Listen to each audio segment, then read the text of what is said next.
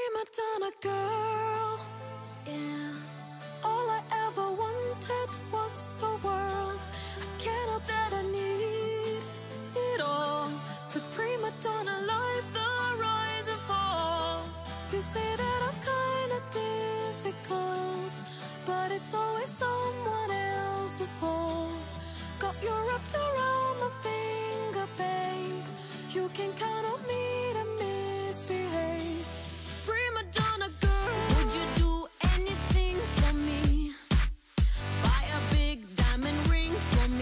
Hallo allerseits. Ich hatte versprochen, dass ich ein Video drehe, wo ich die Pinsel präsentiere und vorführe, weil bei manchen ist es nicht so klar, wofür nehme ich welchen Pinsel.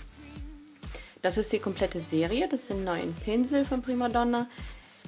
Der größte ist der 6er und den gibt es in gerade und schräg. Und der Vierer ist auch gerade und schräg. Dann haben wir den Zweier und den Einser, die gibt es nur in gerade.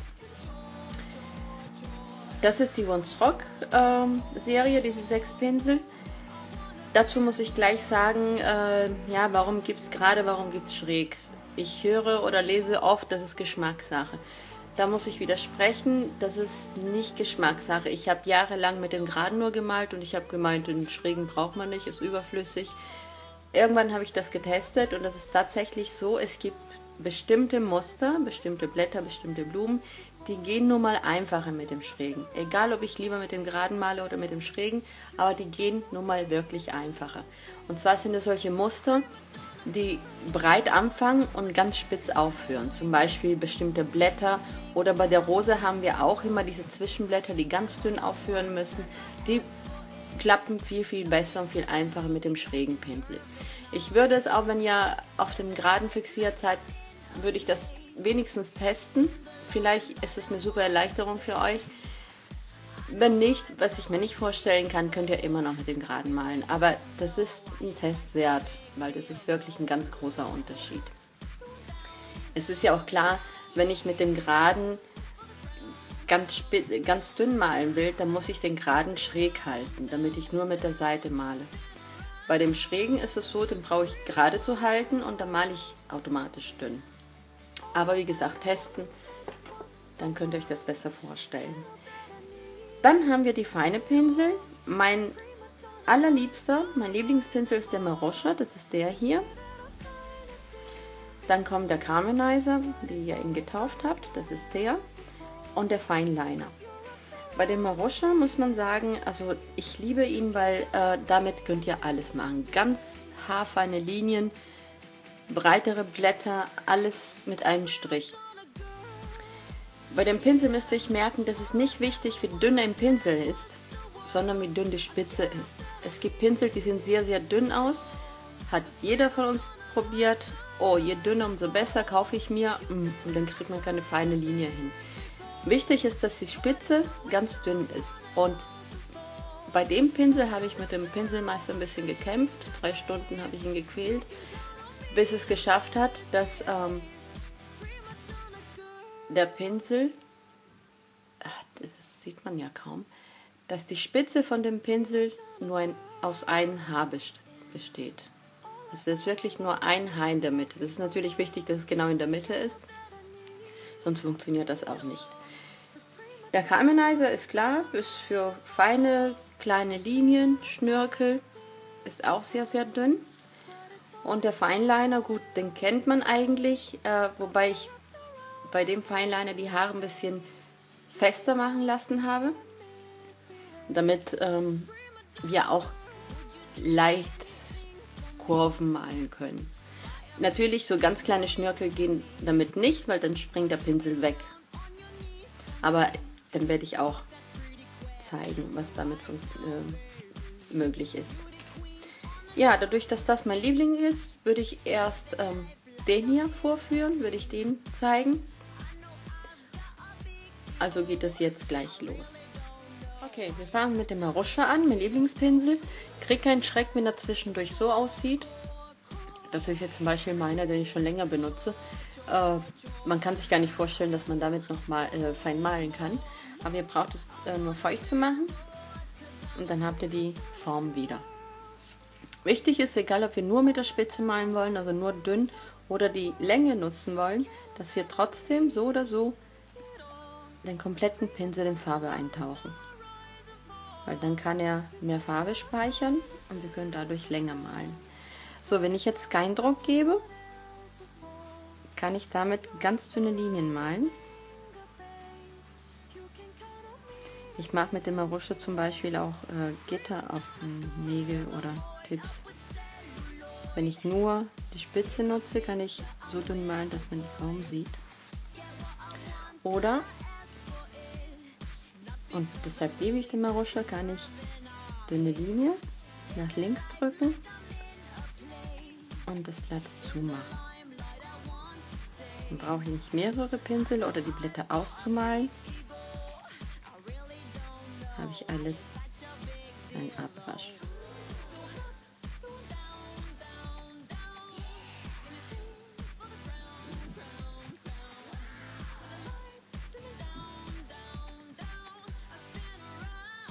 Dann würde ich einfach so Blätter malen, also indem ihr drückt und wieder los. Was natürlich auch geht, sind Schnörkel.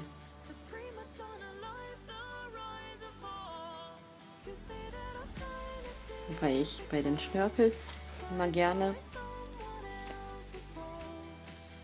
Mittelpunkt um die Kurve und dann ein bisschen Druck gebe. Gleiche spiegelverkehrt. Mittelpunkt um die Kurve und Druck.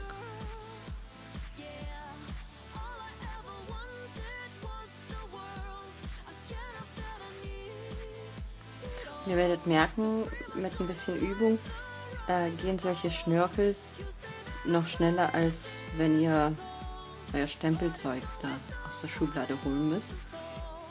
Und das ist handgemacht.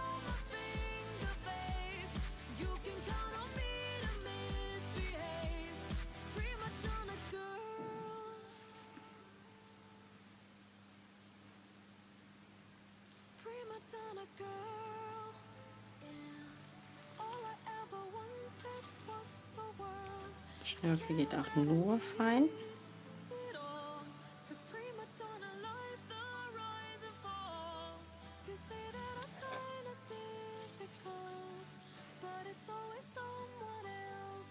Ein bisschen probieren, wie mit dem Druck zurechtkommt. Also ist eigentlich, wenn man damit zurechtkommt, finde ich ein Wunderpinsel. Manchmal, wenn ihr lange damit malt, werdet ihr merken, irgendwann malt er nicht mehr. Dann ist es, weil die Spitze ist ja so dünn, das kann sein, dass ein bisschen Farbe an der Spitze trocknet. Man sieht es ja auch ein bisschen wie ein Kügelchen. Dann abmachen und dann geht es weiter.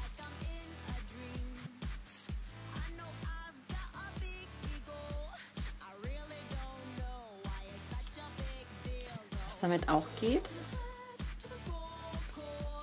diese Technik ohne Druck bremsen.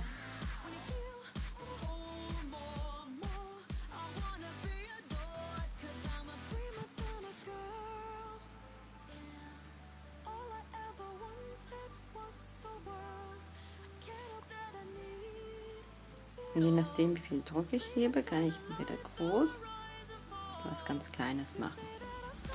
Ich habe auch ein paar Tipps vorbereitet, die werdet ihr auch zwischendurch auf Bilder sehen,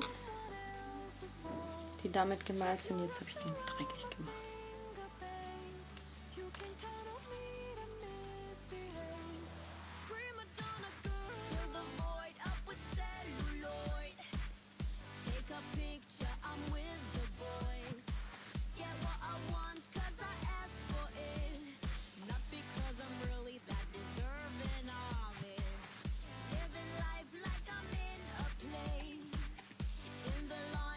Einfach ein bisschen rumexperimentieren.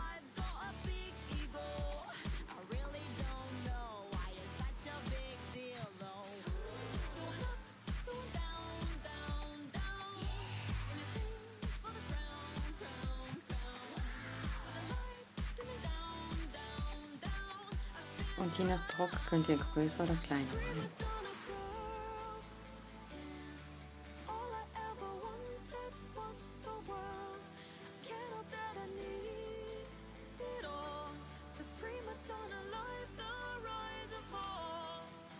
Und ganz wichtig ist beim Üben, immer diese feinen Linien üben. Schweinerei.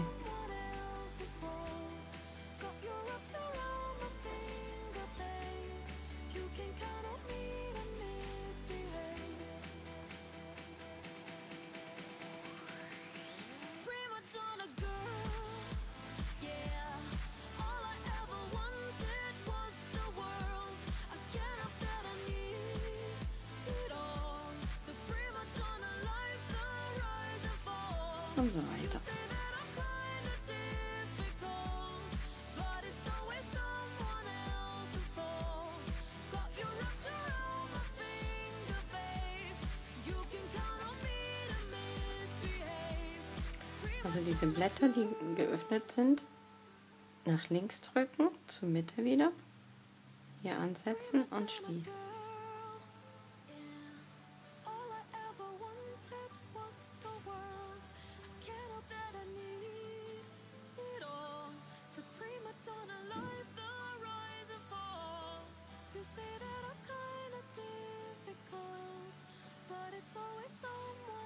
Ich male jetzt natürlich ein bisschen größer, damit man es erkennen kann, aber ich werde euch nochmal Tipps zeigen, die mit dem Maruscha gemalt sind.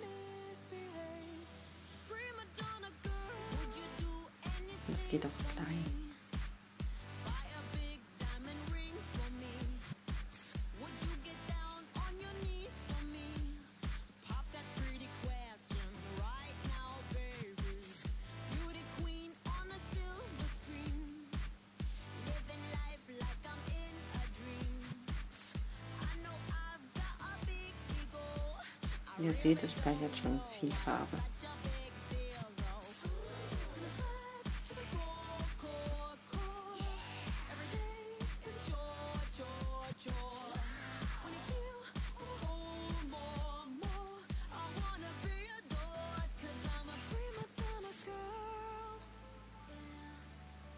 ever wanted was the world. So, ich könnte, merke ich, an dem Pinsel noch lange malen.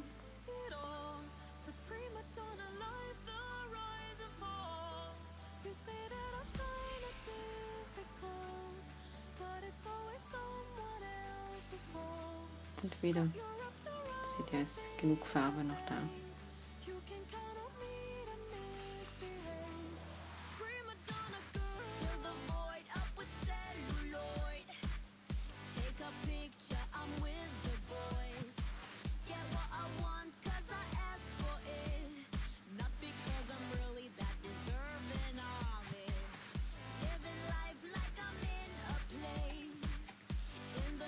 Ja, ich wollte eigentlich ein kurzes Video machen, aber lange malt mache ich noch.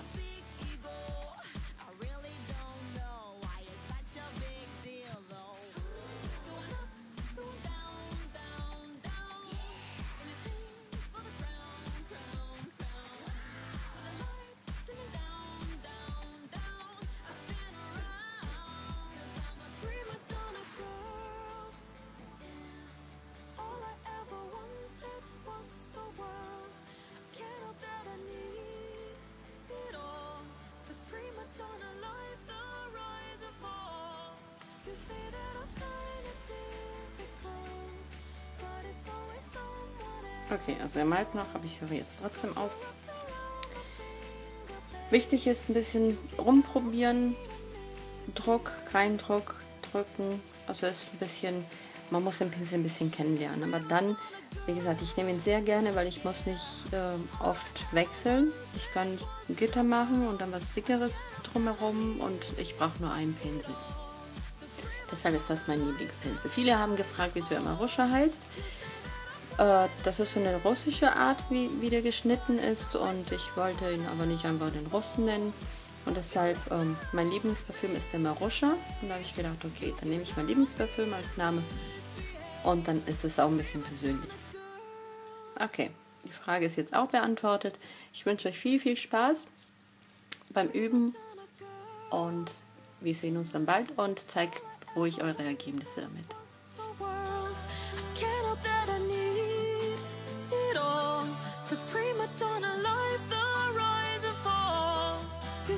Gut, wir kommen jetzt zu dem Carmenizer. Das ist der feine Pinsel, der kurze. Auch damit können wir natürlich sowieso Schnörkel ziehen. Wir können das gleiche Spielchen ein bisschen wie Maruscha machen, nicht so extrem, weil er ja kleiner ist, aber ansonsten geht das auch mit den Blättern. Und die werden natürlich kleiner.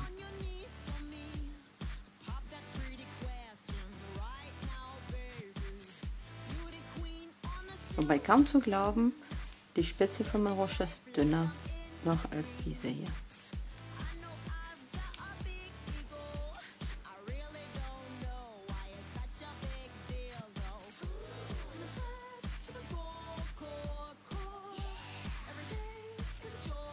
Also auch hier ein bisschen rumspielen, ausprobieren. Dadurch, dass er nicht so viele Haare hat und so kurz sind, speichert er natürlich nicht so viel Farbe wie der Marosche.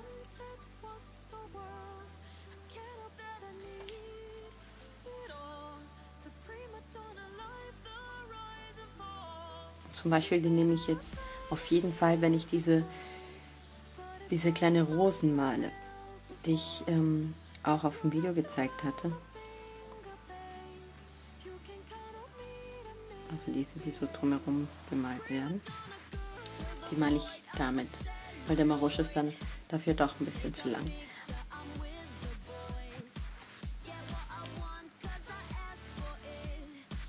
Also Schnörkel, Druck. Mittelpunkt, drehen. spiegelverkehrt, Mittelpunkt und Druck.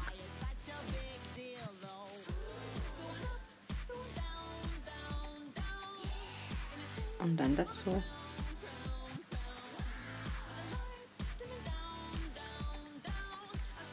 je nach Geschmack, je nach Platz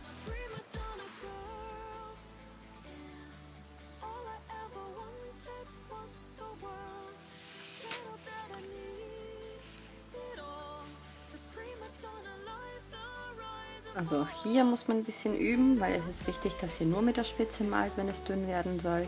Weil sobald ich Druck gebe, ist es klar, wird die Linie breiter. Also ohne Druck.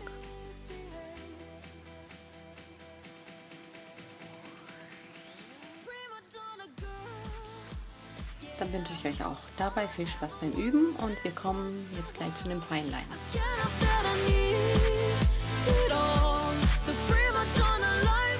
Okay, bei dem Feinliner, das kennt man eigentlich schon. Das ist der feine, auch Schlepper genannt. Wobei die Haare hier so ein bisschen fester sind. Das nehme ich, äh, wenn ich sehr, sehr lange Linien malen will. Auf den Tipp, die sehr dünn sein sollen. Und dadurch, dass die Haare ein bisschen fester sind, kann ich auch, wie hier, auch so ein bisschen um die Kurve malen. Schnörkel gehen dann nicht, weil dann springt der Pinsel weg. Tja, doch nicht. Aber das ist auch ein Riesenschnörkel. Wenn ich jetzt einen kleinen Schnörkel machen würde, ist es schwierig, ohne dass der Pinsel nicht wegrutscht. Also eher so für kleine Linien. Auch hier kann man natürlich hm, auf Nägel vielleicht je nach Länge nicht so, aber auch hier kann man mit dem Druck spielen.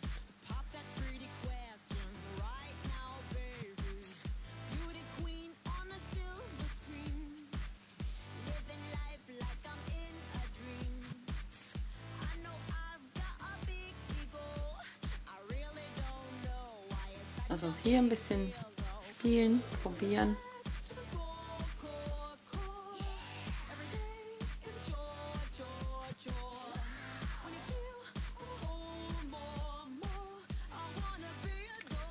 War der Feinliner.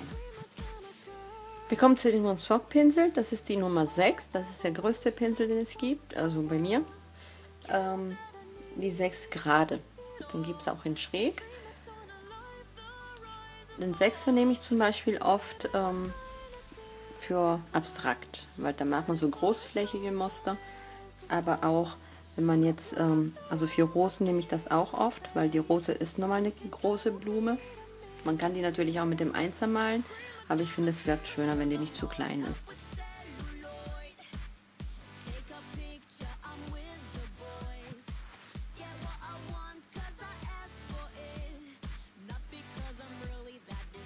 Mache ich immer so viel größere Blumen. Es gibt Unterschiede, ob gerade oder schräg, hatte ich ja erwähnt. Bei dem Schrägen ist es einfacher, so spitze Blätter zu malen.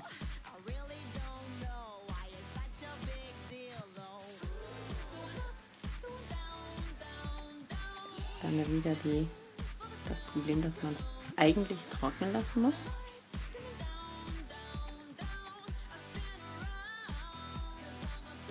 Auch sowas zum Beispiel mache ich lieber mit dem Schrägen, weil ich hier ganz dünn aufführen muss.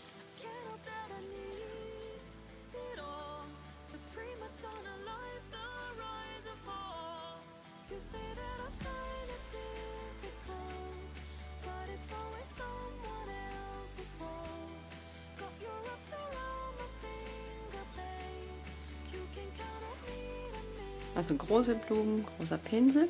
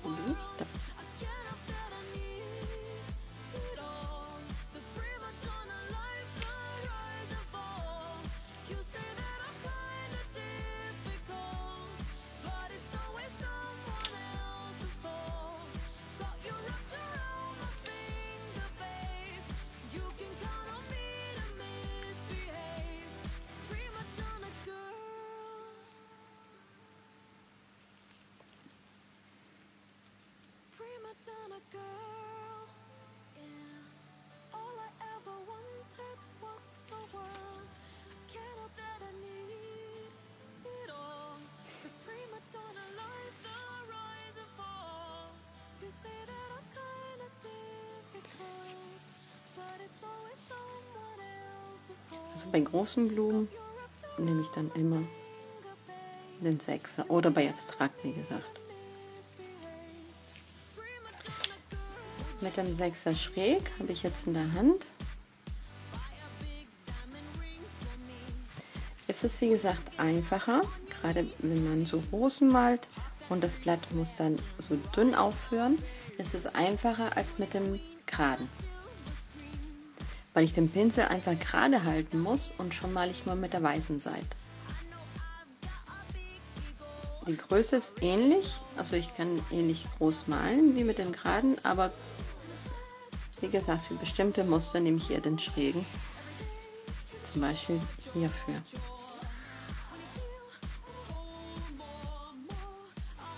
Spitze.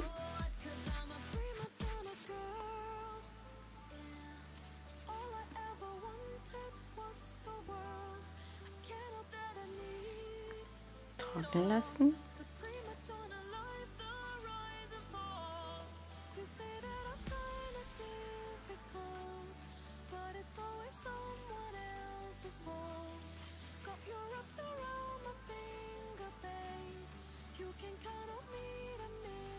Und jetzt mit Weiß ankommen.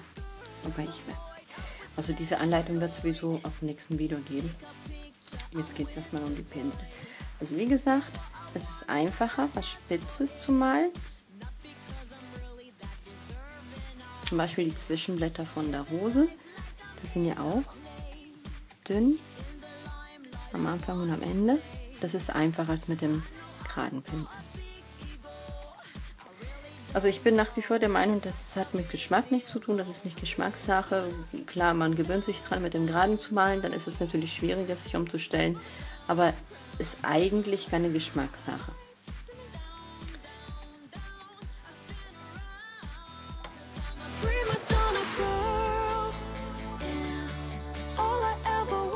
Okay, der Vierer gerade.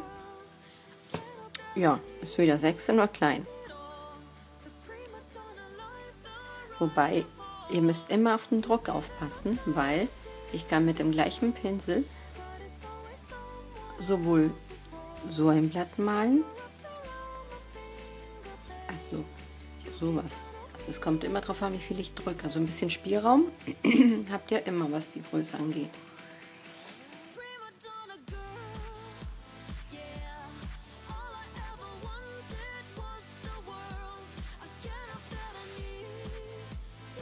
So mittelgroße Blumen. Und den Vierer nehme ich eigentlich meistens für die für normale Entschuldigung für normale Nägel und für die normale Blumen nehme ich am meisten.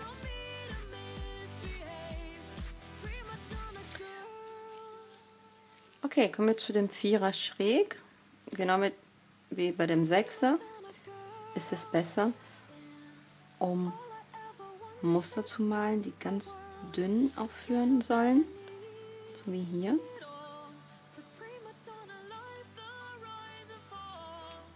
Oder wie gesagt für die Rose.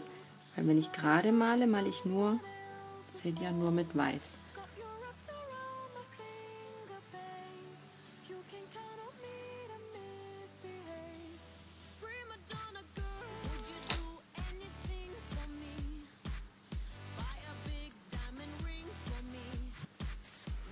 So, und jetzt, dadurch, dass es schräg ist, kann ich wirklich ganz dünn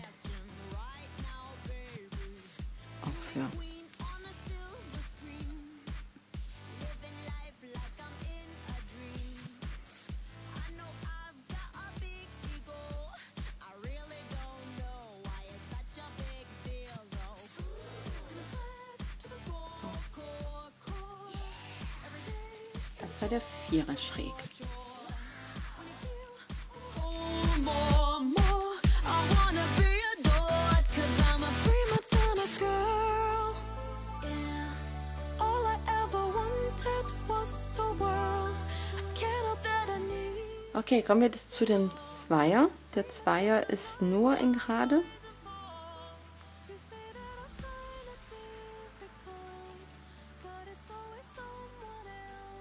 Das ist eher für kürzere Nägel. Wobei auch hier müsst ihr auf den Druck achten. Also da könnt ihr wirklich ganz klein malen. Natürlich könnt ihr auch ein bisschen größer malen mit dem Druck.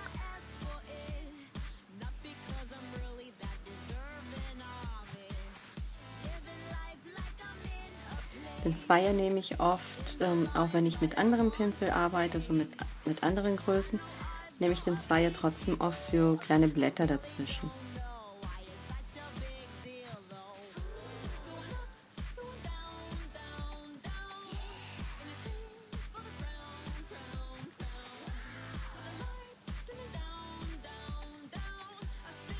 Mit weniger Druck ist noch kleiner. Aber dafür haben wir auch den Einser.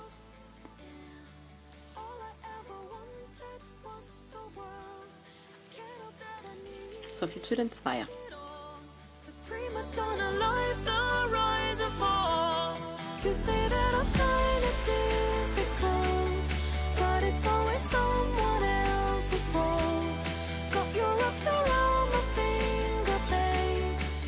Jetzt kommt der kleinste Pinsel in der Rundstock-Technik. Das ist der Einser. Der ist wirklich mini klein.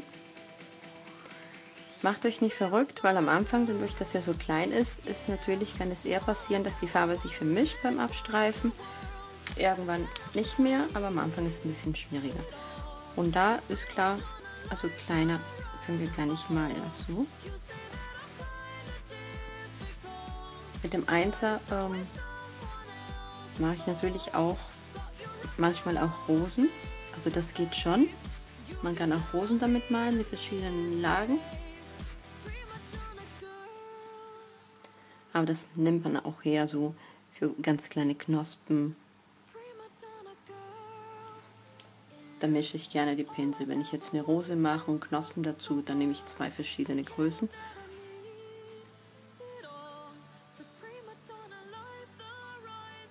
Und sowas kriegt ihr auf den kürzesten Nagel. Also es gibt keine Nägel, bei denen die Technik nicht reinpasst.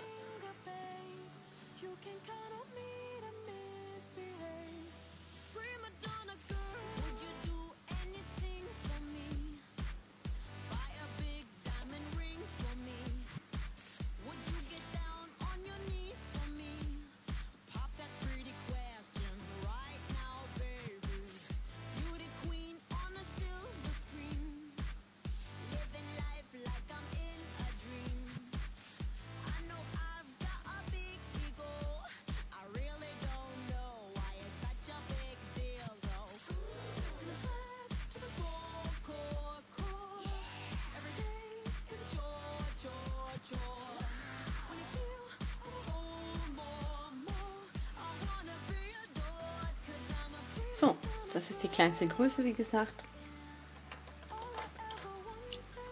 Wobei wirklich darauf achten, man kann mit dem Druck auch viel machen.